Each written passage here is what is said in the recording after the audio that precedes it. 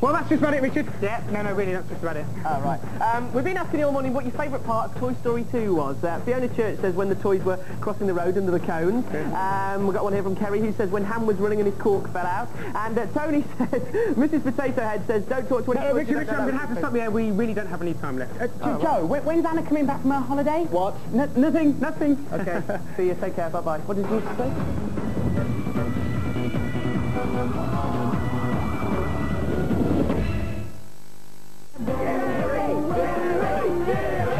Back in the studio. Live and kicking Saturday at 9.15 on BBC One. Misses, miss out.